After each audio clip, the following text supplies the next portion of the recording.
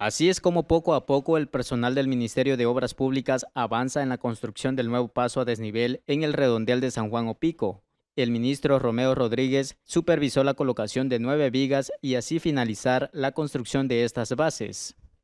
Ya tenemos un 35% de avance de toda la obra cuando lo proyectado eh, debería de ser cerca de un 17% aproximadamente. Es decir, llevamos muchísimo más de avance con respecto a los datos contractuales el día de hoy pues hemos iniciado con la colocación de las vigas, son nueve vigas eh, de cerca de 33 metros de longitud, las que se van a colocar este día, en un solo día.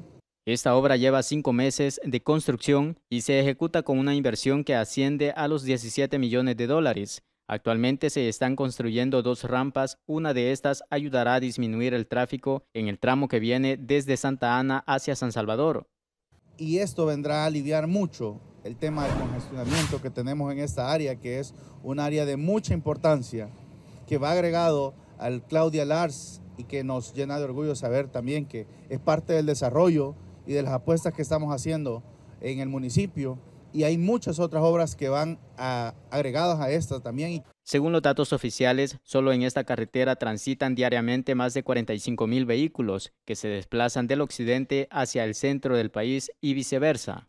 Para Carasucia Noticias, Alonso Rojas.